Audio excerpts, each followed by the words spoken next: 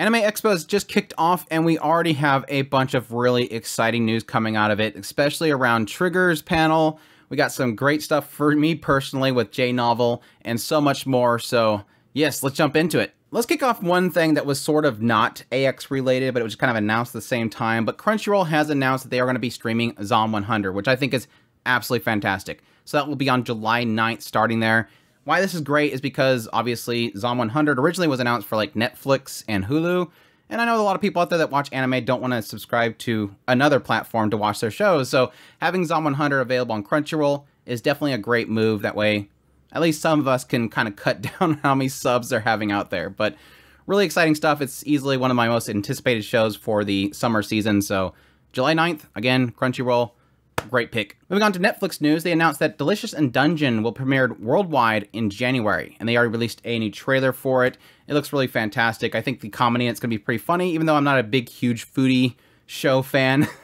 it looks like a lot of fun. They have a nice little, uh, I guess, a straight man character there that always freaks out about everything, but yes, of course, that's being done by Studio Trigger, so definitely exciting stuff. Netflix also released a new trailer for Pluto, so if you're interested in that series, definitely go check that out. Of course, that one is coming out on October 26th, so that's definitely one that every time I look at it, it looks really, really cool visually and everything. There's a little bit of a oof with the CGI, but I think they're doing a really good job of blending it, and obviously, based on the story itself, it looks really great, so definitely looking forward to that one. They also announced a stop motion Pokemon franchise, which I don't know. I, I think I completely missed this one, or maybe this is a new announcement, but it's called Pokemon Concierge, I think is how you pronounce that, which is coming to Netflix on December of 2023. So if you're a big fan of Pokemon, be on the lookout for that one. Now, here's some interesting news. Bandai Namco Entertainment's their panel.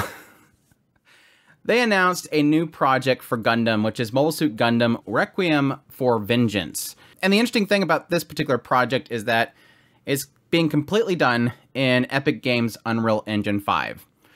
Yes. so we are going back to, what was that called? Yes, the days of MS Igloo.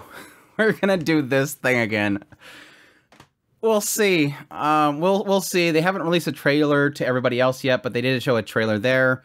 I don't know if everybody was enjoying it, but um, Gavin Hignight, who I'm going to butcher these names, I apologize. Gavin Hignight, who is writing the series, confirmed the project is set in the Universal Century, so it'll be in this particular time frame. So we're, we're two of two. He also stated that Thunderbolt and 08th MS Team were actually influences for the project, which that is a plus for me. I think Thunderbolt was was a lot of fun.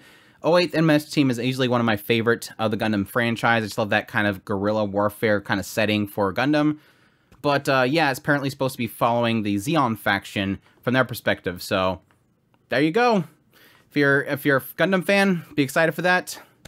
I need to see the trailer. I really I really need to see the trailer before I think of anything about this, but we'll see. Now moving on to the trigger panel, which I think most people were excited for, getting ready for that new announcement they had. I, I guess the new announcement is an old announcement. I don't know. Um, I'm missing something apparently because I watched, I looked at everything coming out of there and nothing said new announcements. But maybe they're probably talking about Panty and Stocking, new Panty and Stocking, which they've announced that is going to be the new project they're doing. Now, the interesting thing that did come out of this panel, which apparently has been leaked slash I don't know confirmed or something at some point, uh, is that yes, they, they they came out on the stage and their big thing was we got it we got Panty and Stocking. They have officially acquired the license, the ownership of it from Gainax. So it's there now. Trigger now owns Panty and Stocking. They no longer have to pay any sort of royalties to Gainax. It's all theirs. And so obviously they're probably going to be really excited at this point that they're going to make a new project. It's all theirs. They don't have to worry about answering questions to Gainax. It's they, they do whatever they want with it. So that's obviously really exciting. For those who don't know, Trigger's pretty much ex Gainax people and so they, made it there. They love the franchise. They they got it back essentially. So good on them. I've never watched. I never. I've watched bits of uh, Panty Stocking. I just never fully watched it. So I think it's about time that I finally do that. We'll see. Additionally, they announced they're going to be doing rescreenings of Gurren Lagann movie. This is Childhood's End and Lights in the Sky Are Stars. So those two films are going to be coming back out again. In North America specifically, it's going to be coming out in winter, and they're going to be in 4D theaters. Additionally, they also said they have plans on releasing it in 4K Ultra Blu-ray on September 27th. So be on lookout for that. Definitely exciting news. Good on Trigger again. excited for them. And finally, some exciting news for me. Uh, J Novel, during their panel, have announced some new acquisitions, including uh, for light novels, Knights and Magic, which I thought that already came out, but I enjoyed the anime series of that, so that's a pretty good buy. Eighth Loop for the win. Back to the battlefield, the veterans' heroes return to the fray. The retired demon of the maxed out village. My magical career at court. Fiance No More, The Forsaken Lady, The Prince, and Their Make Believe Love. And the last one is I Want to Escape from Princess's Lessons. Now for manga, a really exciting one in here for me, and I it's like one of those ones where I go, wait, this wasn't already printed, this wasn't already publishing? Yes, the Art Club has a problem manga. That's a good pickup right there. Uh, that was extremely popular back when that one first aired as anime. And again, I was really surprised to see that nobody had picked it up yet. They also got the Frontier Lord begins with zero subjects. My daughter left the nest and returned as an S rank adventure, which that one is getting an anime adaptation here soon, so that makes sense. Hell mode, the hardcore gamer do dominates in another world with garbage balance. The Conqueror from the Dying Kingdom. I'll never set foot in that house again. And an Archdemon's Friend's Dilemma. How to love a crybaby knight. So, again, really exciting about Knights and Magic and the Art Clubs has a problem. Really cool stuff there. Now, the thing that is exciting for me, okay, let's actually get to the one that this is exciting for me. Yes, they have announced a new audiobook series, Ascendance of a Bookworm. So exciting. I, I when I read that, I'm like, no way. this is so, so good.